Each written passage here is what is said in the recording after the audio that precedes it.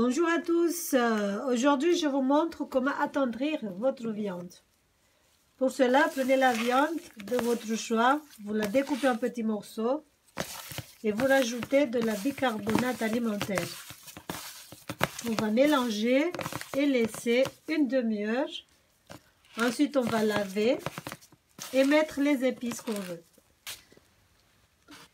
Donc là, ça fait une demi-heure que j'ai mariné ma viande avec de la bicarbonate alimentaire.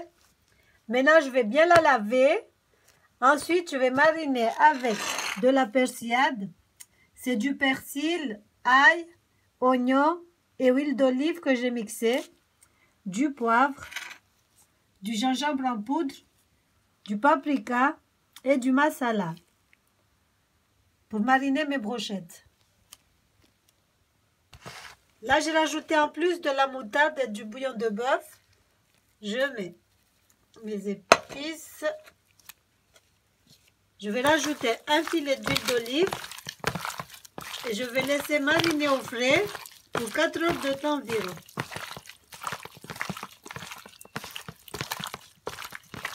Pour les épices, mettez les épices que vous aimez. Vous n'êtes pas obligé de faire comme moi.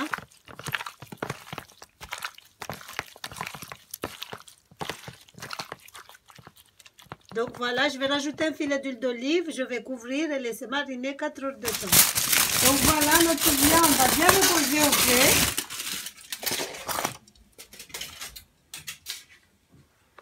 Là, j'ai découpé du poivron, des tomates. J'ai des pics à brochettes. Faudra les tremper dans de l'eau. Comme ça, ils vont pas brûler à la cuisson.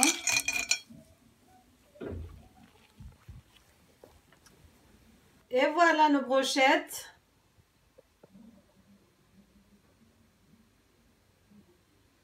On va juste les griller au barbecue.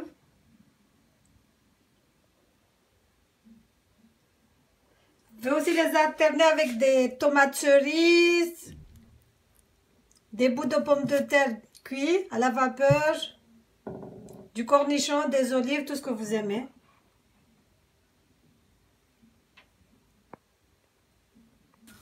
Voilà, voilà nos brochettes de viande.